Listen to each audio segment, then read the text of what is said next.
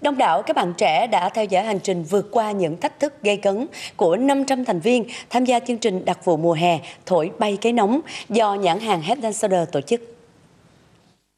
Các thành viên đã hóa thân thành những đặc vụ thật thụ và phải hoàn thành liên tiếp 4 nhiệm vụ khó khăn, mạo hiểm như sa mạc rực lửa, mê công laser, chinh phục đỉnh cao và banh bàn khổng lồ. Thời gian qua, BNG Việt Nam đã tổ chức nhiều hoạt động có ý nghĩa để cải thiện cuộc sống. Sự kiện lần này hoàn toàn mới nhằm tạo cho giới trẻ phát huy kỹ năng vận động, tinh thần đoàn kết để cùng tranh đua vượt qua bốn thử thách một cách ấn tượng và thú vị. Lần đầu tiên tổ chức ở Việt Nam, chương trình đòi hỏi các thành viên phải có sự khéo léo, nhanh nhạy và sức khỏe tốt để vượt qua thử thách giống trong những bộ phim hành động của Hollywood.